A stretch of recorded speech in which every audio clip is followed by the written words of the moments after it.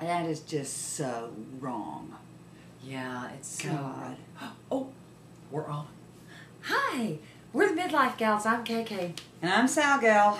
We got another question. It's a doozy. Yeah, we can't find it, so we but we know that it was from Iowa.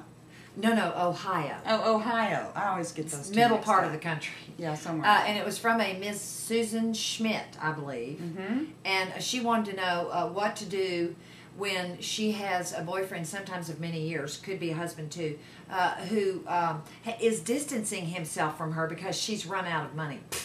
Oh man.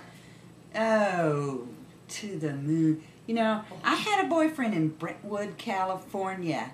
And and he always had his next project, you know, which was going to get us a whole lot money. So I worked and worked and worked, and we lived off my money to the tune of fifty thousand dollars for his next project. He had to go to New York. He had to go to Italy. He had to go to France And use your money. and use my money. Oh, oh, that makes me so mad. So, okay, I'll tell you my advice for you. Don't give them any money. And if you've got some guy that you're with that you're taking care of and you've got some money and he doesn't have any money, you know what I have to say? Bye bye.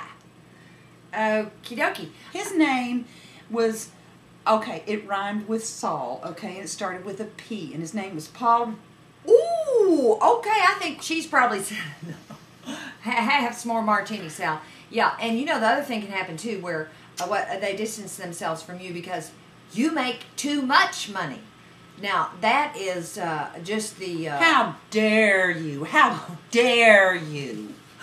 ooh uh You know, because it's all about their egos. They have their egos. They don't want anybody to know that you make more money than they do. no okay keep drinking. I'm not bitter. Keep I'm not drinking. bitter. Uh, we, we're we're going to give you some advice about that, and that is to just gently uh, do say bye bye, but in a way that won't just completely emasculate them, if you know what I mean. Oh, emasculate them. Oh, okay. Well, let's do that. Uh, it's a form of reinvention. Don't commingle. don't commingle those funds, girls. Just don't do it.